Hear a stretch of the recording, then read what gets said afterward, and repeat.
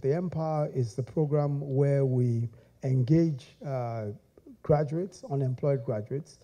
This is one of the largest programs of its kind. At the moment, we have engaged 500,000 uh, undergraduates, uh, graduates rather.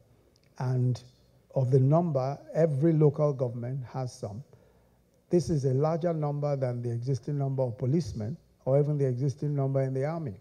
So it's a very large uh, workforce, and they are paid directly uh, by the federal government. Now, to sustain that, because part of it, it's, it's not meant to be a permanent program, it's meant to be a two-year program.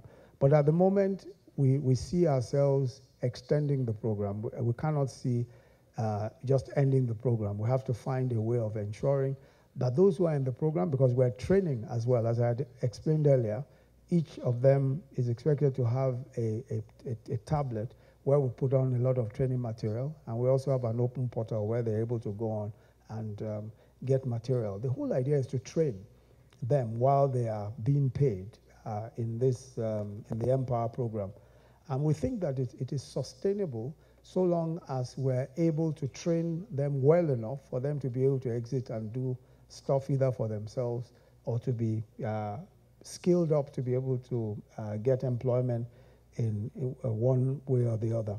So we think that that's the, the way to sustain it, to ensure that we have a pipeline of graduates who are very well trained, who are adaptable. Some of them are in teaching, some in the healthcare system, some in farming. Some of them are extension farmers doing a lot of very important work in the various farms, uh, farm, uh, farm projects all over the country.